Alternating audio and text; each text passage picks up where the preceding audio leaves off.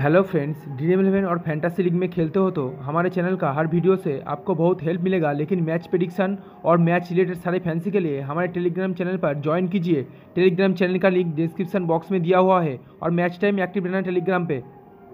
W के match Mumbai Indians women और Bengaluru women के बीच खेला जाएगा ट्वेल्व मार्च शाम साढ़े सात बजे दिल्ली के अरुण जेटली स्टेडियम में। पिच रिपोर्ट ये पिच पर बैटर्स को भी हेल्प मिलता है और बॉलर्स को भी हेल्प मिलता है। अगर बैटिंग अच्छे शॉट करते हैं तो अच्छा स्कोर कर सकता है। और par score will be no higher than 160 Mumbai Indians team news Gujarat के खिलाफ मुंबई इंडियंस सैटरडे को जीते थे। सो so, इस मैच में भी कोई चेंज नहीं करेगा और टीम में कोई भी प्लेयर इंज्योर नहीं है रिपोर्ट के मुताबिक। मुंबई इंडियंस टीम फॉर्म पिछले चार मैचों में वो तीन जीते हैं। और predicted playing eleven Yastika Bhatia wicket keeper Hayley Matthews Nat Sciver Brunt Harmanpreet Kaur captain Amelia Kerr Amanjot Kaur S Sanjana Pooja Bhaskar Humaira Kazi Shabnim Ismail और साइका इसाक मुंबई इंडियंस की प्लेयर हरमनप्रीत कौर वो कैप्टन है और गुजरात के खिलाफ दस चौके और पाँच छक्के लगाकर अपने टीम को जिता दिए थे। Yastika Bhatia wicket keeper batsman है और वो पिछले मैच में थर्टी सिक्स गेंद पर फोर्टी नाइन रन बनाए थे। और नौ बाउंड्री भी कलेक्ट किए थे। Saika Ishaque left arm spinner Phoebe Litchfield और स्नेह राना का विकेट लिए थे और टर्न भी मिल रहा है उनको इस पिच पर।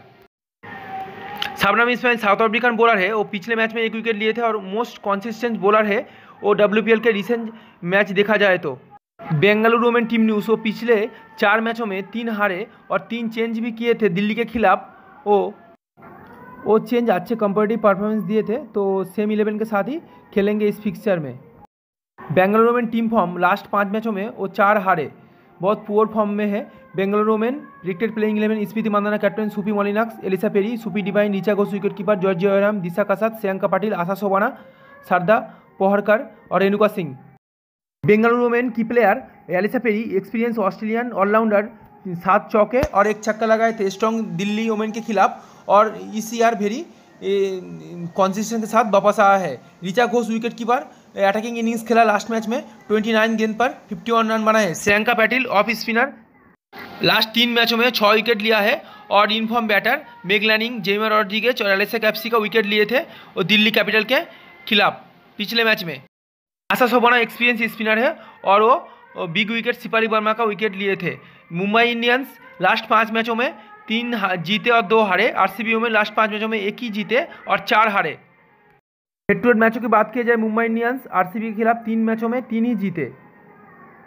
Mumbai Indians top batter Yastika Bhatia, Harmanpreet Kaur और हैले मैथुस हैले मैथुस पिछले मैच में 18 रन बनाए थे और चार चौके भी लगाए थे। वेस्ट इंडियन ओपनर है और बहुत कैपेबल प्लेयर है और मैच विनिंग नॉक भी खेल सकता है। हरमनप्रीत कौर पिछले मैच में बहुत अच्छे विनिंग नॉक खेले लेकिन सिर्फ़ पिछले मैच में नहीं इस टूर्नामेंट में 55, 46 और 33 रन भी बनाया है।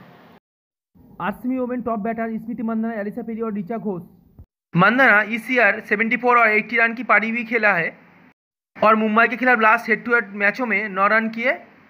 20 years old Richa Ghosh exceptional talent है वो पिछले मैच में 175.86 स्ट्राइक रेट के साथ लास्ट मैच, मैचों में बल्लेबाजी किया है।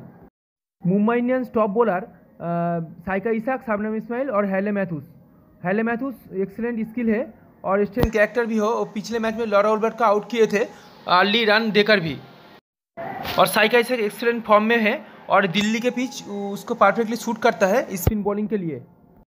RCB women top bowler Shreyanka Patil, Asha Sobhana और सुपी मोलिनक्स स्पिनर मोलिनक्स पिछले मैच में विकेटलेस रहा, लेकिन उसके पहले दो मैच में ट्वेंटी नाइन रन देकर दो विकेट और थर्टी टू रन देकर एक विकेट लिए थे।